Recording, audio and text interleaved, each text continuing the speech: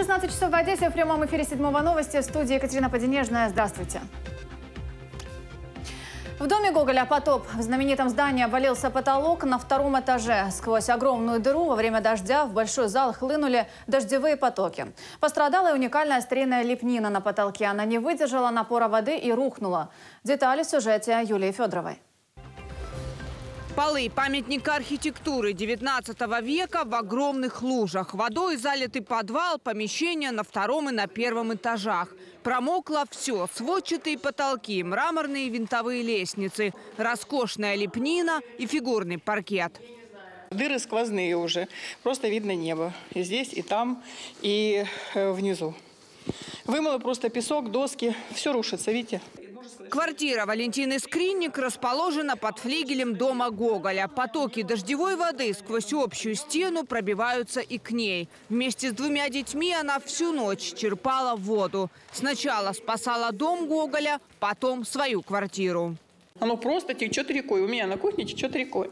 История спасения дома Гоголя началась давно. Чиновники постоянно обещали его отреставрировать. Но прошел не один год, ничего так и не изменилось. Дом Гоголя продолжает разрушаться.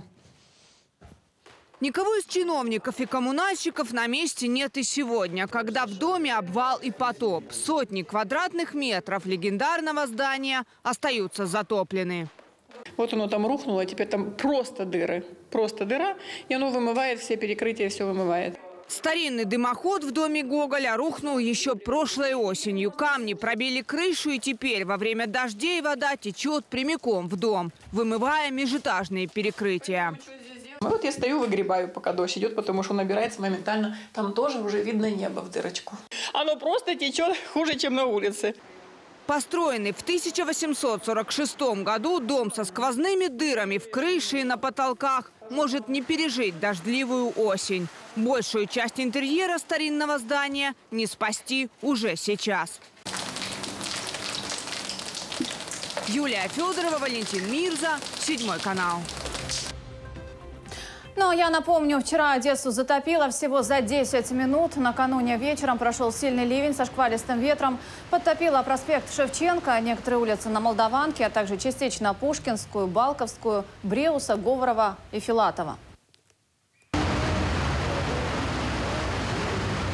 Когда сильный дождь, когда он короткий и сильный, затапливает сразу. Это ненормально, это не чистят ливневки. Вот, ну, я лично с работы вышел, у нас есть ливневка, я ее от листьев прочистил, но вода туда не уходит, потому что она уже ну, где-то в другом месте забита, и вода идет наверх. Если вот я вот пошел на тренировку в шортах, и сейчас грязь, и возвращаться вообще. Хорошо, что я хоть повезло, что случайно оказался с собой дождевик. А я пошел пешком, потому что там на на Пушкинской и Ришельевской полностью затопило. Машины стоят по, коле, по колесу воды просто. Ну и, как обычно, вечером дождь парализовал движение в центре Одессы. Как раз в час пик вода сошла, движение транспорта восстановлено. Но и на сегодня синоптики снова прогнозируют дождь.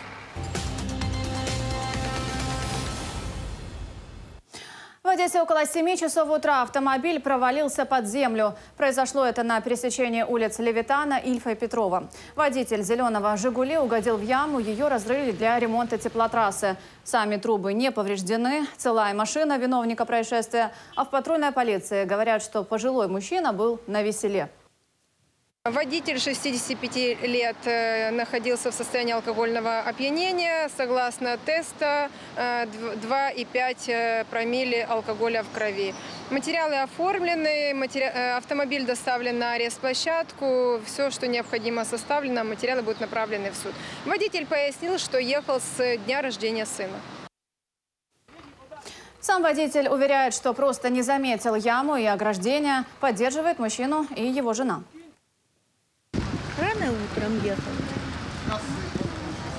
Дождь. Ослепила машина, дождь. Машина ослепила. Поздно заметил вот эту вот он штуку. И все, тормозил, но не, не успел и провалился.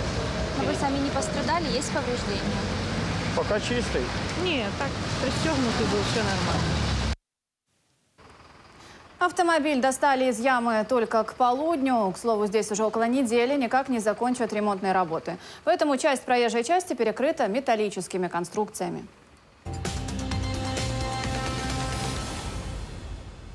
Скандалом с принудительной дезинфекцией судей закончилось рассмотрение жалобы в Одесском апелляционном хозяйственном суде.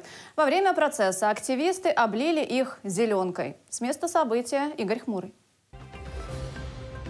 Ми прийшли і кажемо, от приблизно 100 чоловік. Ну вже ну 100 чоловік це не громада. На вулиці люди Ну да, на вулиці ще близько сотні. І це студенти, ну е, які не хочуть віддавати свою стипендію за борг в якомусь чудаку. Предприятие должно работать, а не Ми маємо банкротиться. працювати. Це не знаю, наш апостолат. Ми маємо молитися на такі производства, які ще працюють. Їх залишилось три в Одесі, великі производства, які працюють. І ви їх всі грабуєте, всі.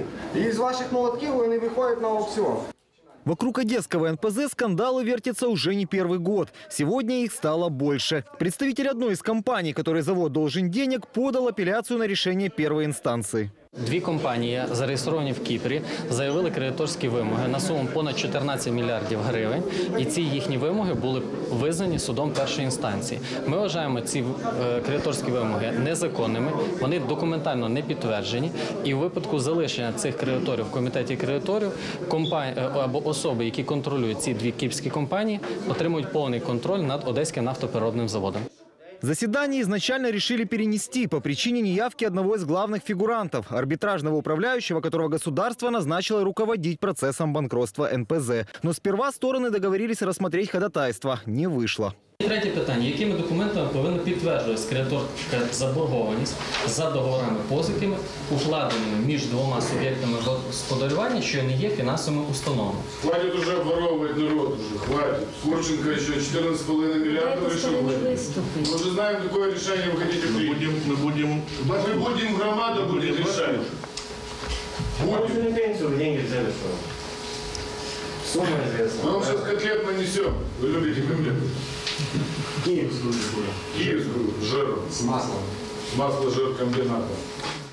Началась перепалка. Судьи решили объявить перерыв и попросили полицию не пускать в зал активистов после его окончания. Ви аферіст, ви покажете. Своїм ходом ви показуєте, що ви аферіст, що у вас нет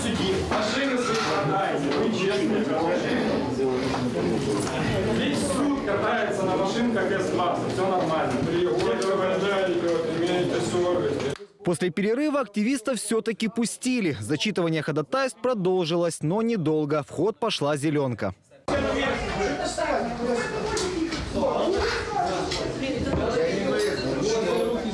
Это вы меня толкнули, вы что? Вы меня толкнули. Я не стрелял, вы чего? вы? Смотрите на камеру. Вот шприц, ребят. Вот он его шприц, я видел, как ты стрелял. Я не стрелял, вы что? Давайте, смотрите на камеру. Вот, Чего? у него был Я говорю, тебя тут шприц. смотрите, вы меня толкнули на... Вот мои руки. Давайте видео. В итоге судьи объявили перерыв и пообещали следующее заседание провести в закрытом формате. А сторона защиты и вовсе обвинила оппонента в организации срыва заседания. К нам с разных источников поступала информация накануне о том, что наши оппоненты, э, ввиду того, что их правовая позиция в этом деле слабая, э, готовят вот подобного рода акции. Гражданские активисты с закрытым форматом заседания не согласны и сдаваться не собираются. Того же, кто облил судей зеленкой, говорят, в глаза раньше не видели. До речі, я разом з співробітником правоохоронних охоронців намагався догнати злочинника, але він дуже швидко втік. Ми не встигли. Я от прямо поруч з хлопцем біжали, що його зелен, зеленкою облили. Ні, перший раз бачу. Ну я тут багато людей перший раз бачу. Тут є студенти, працівники, може ще хтось. Игорь Хмурый, Алексей Пережилин, Седьмой канал.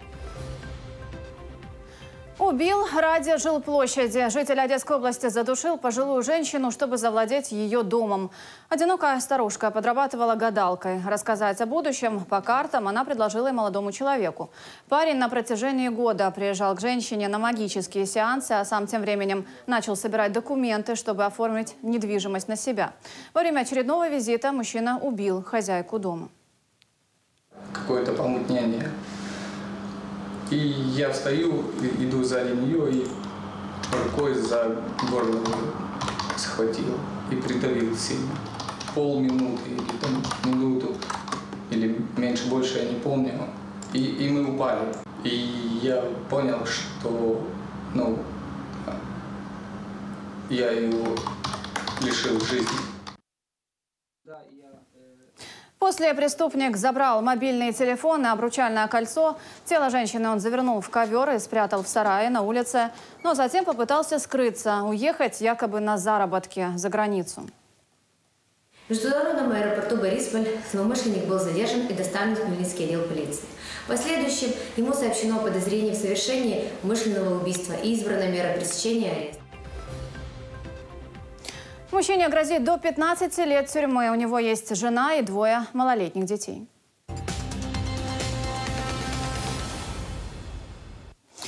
Одессе СБУ раскрыла сеть по продаже поддельных и контрабандных лекарств из России. По предварительным оценкам стоимость конфиската более 2 миллионов гривен. Правоохранители провели обыски в одной из региональных аптечных сетей. Обнаружили огромное количество фальсифицированных лекарств, произведенных в Российской Федерации или на временно оккупированных территориях. Также оперативники изъяли более 800 тысяч гривен неучтенной наличности.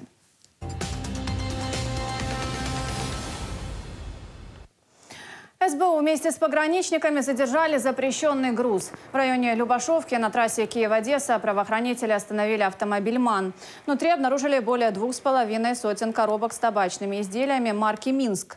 Стоимость сигарет оценивают в 4 миллиона гривен. Товар изъяли и передали в фискальную службу Одесской области.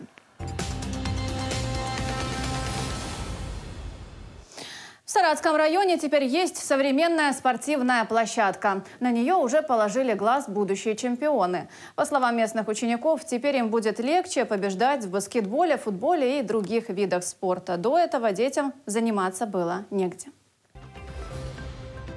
Новая спортивная площадка с безопасным покрытием, ограждением, футбольным и баскетбольным оборудованием. Теперь это все принадлежит ученикам Саратской гимназии номер один.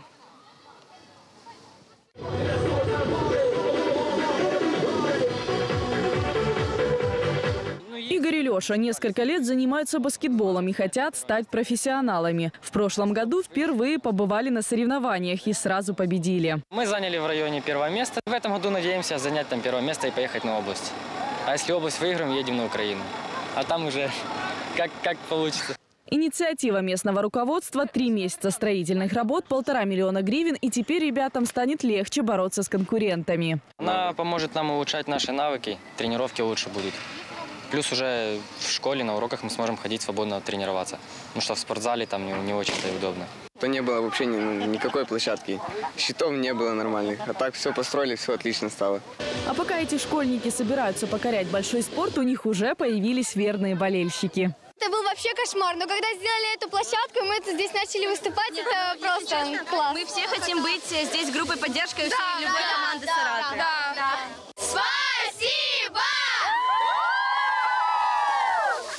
Новому спортивному полю радуються і малыши. Обіцяємо, що будемо займатись, підтягатись, відлімати сили, спритності, набратись і здоровими рости. Краще місто відпочинку нам у школі не знайти. Спортивная площадка не единственная радость местных. За последний год Саратский район во многом преобразился. Ми бачимо, коли гривня перетворюється в гривню, коли гривня перетворюється в цей зал, нову бібліотеку, нову амбулаторію, новий медичний заклад і так далі. І так далі. Це означає, що насправді за 25 років ми могли бачити більше і отримати більше. Тільки завдяки певній безвідповідальності людей ми цього, на жаль, не маємо чи не мали. І я дуже тішуся, що нарешті цей поступ, рух вперед пішов. Ирина Рогозянская, Валентин Мирза, Седьмой канал.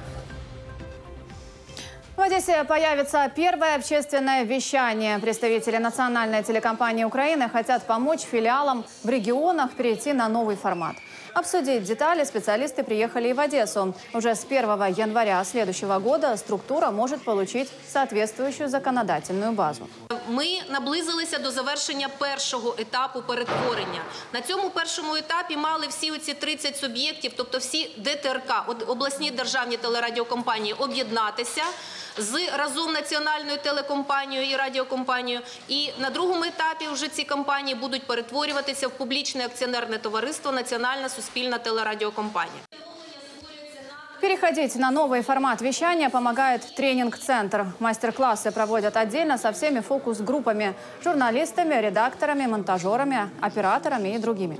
В ближайшее время мы рассматриваем за счет наших партнеров проведение тренингов не по принципу сбора у нас в Киеве, а с выездом на место. Это уровень подготовки, уровень какого-то понимания того стандарта, который должен быть. Представители наблюдательного совета также отметили, что сегодня уже работает так называемый «Суспильный ньюс». Так, центральный киевский ньюзрум следит за всеми сюжетами, которые выпускают региональные филиалы. Но главной проблемой остается финансирование вещания и качество покрытия в некоторых районах Одесской области. И пока на этом все. Следить за новостями нашего канала всегда можно на официальном сайте, в Твиттере и социальных сетях. Если вы стали очевидцем интересного события, звоните нам по телефону 726 32 26. Больше информации в 18 часов. Не переключайтесь.